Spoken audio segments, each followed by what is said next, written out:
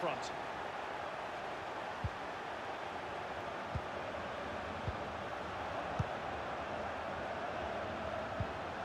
Idrissa Gay.